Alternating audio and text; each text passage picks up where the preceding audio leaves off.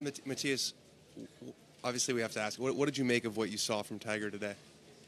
Uh, his game was really solid. I was quite impressed. Um, he didn't really hit any bad shots, except for maybe on six, the par three. Yeah, really solid. Four under around this course is good. Was, was that your first experience kind of in this sort of crowd, in this sort of environment? Uh, I mean, yeah, this was pretty extreme. I mean, I've played with Rory in Europe a few times, and it was good crowds there too. Um, but yeah, this was another level. Had you met Tiger before today? No. A lot of chatter out there on the course. Uh, yeah, a little bit actually. Yeah, I was surprised. So, so it was he was he was really nice, which uh, which was great. And then I played played with Christian. I know him. I've known him for years, so that helped a little bit. what did you guys talk about? Uh, I don't remember.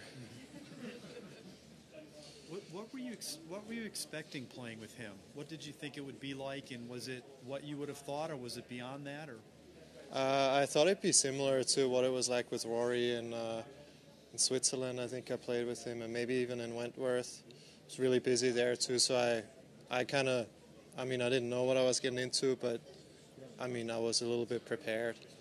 Um, but yeah, it was it was crazy. I mean, people everywhere, and uh, we were the last group. We're one of the last groups out on ten, and still everybody comes to see him.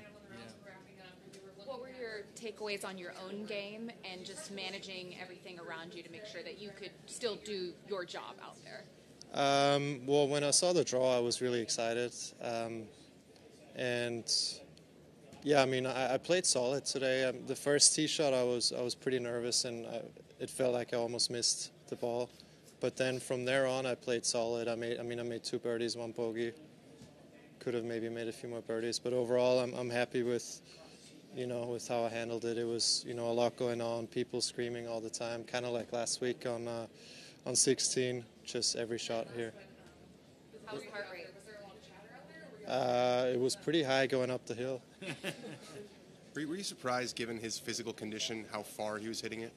Yeah, yeah. Chris and I were talking about it. He outdrove us in almost every hole, which uh, which was a little bit surprising. Yeah.